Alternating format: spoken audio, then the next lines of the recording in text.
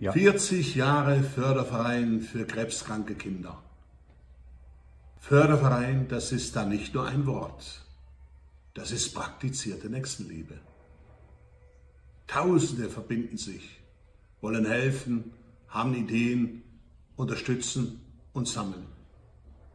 In diesen Tagen der Corona-Krise wird viel darüber gesprochen, wie wir uns auf Werte besinnen sollten.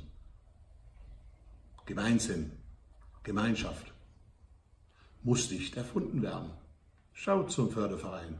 Dort wird's praktiziert. Ein großes Herz. Und ich bin stolz, dass die Ortenau eine Herzkammer dabei geworden ist. Wenn wir uns auf unsere Stärken besinnen, dazu gehört Gemeinschaft, Gemeinsinn, Nächstenliebe, dann ist mir um unsere Zukunft wirklich nicht bang. Also, kommt alle, helft mit, wir werden Erfolg haben. Dankeschön.